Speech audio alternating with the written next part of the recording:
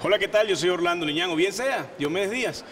El regalo que le di a mi mamá, que nunca olvido, pues fue el que me salió más barato, porque de casualidad yo siempre he sido muy detallista con mi mamá y siempre quiero darle lo mejor. Y el día de la madre siempre ahorraba para, para darle sus detallitos.